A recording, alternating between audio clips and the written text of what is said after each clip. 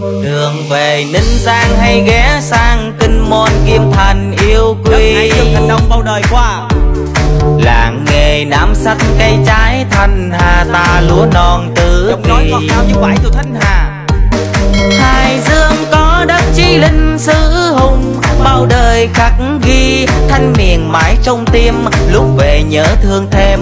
Và bình gian ta đó cứu an sông êm đềm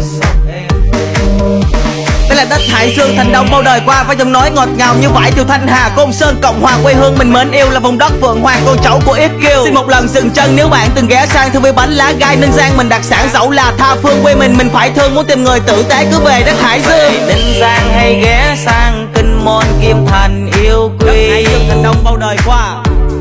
Làng nghề nam sách cây trái thanh hà ta lúa non tứ Giọng nói ngọt ngào như vải từ Thanh Hà. Hải Dương ghi thanh miền mãi trong tim Lúc về nhớ thương thêm Và bình gian ta đó cứu an sông êm đềm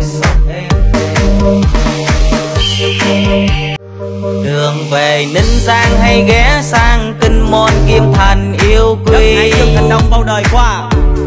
Làng nghề nam sách cây trái thanh hà ta lúa non tứ Giọng nói ngọt ngào như vải từ Thanh Hà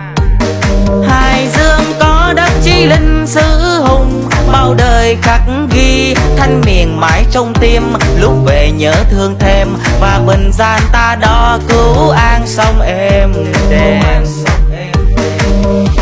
Đây là đất Hải Dương thành đông bao đời qua, Với giọng nói ngọt ngào như vải từ Thanh Hà. Côn Sơn Cộng Hòa quê hương mình mến yêu Là vùng đất Phượng Hoàng con cháu của Yết Kiều. Xin một lần dừng chân nếu bạn từng ghé sang Thương với bánh lá gai Ninh Giang mình đặc sản dẫu là, tha phương quê mình Mình phải thương muốn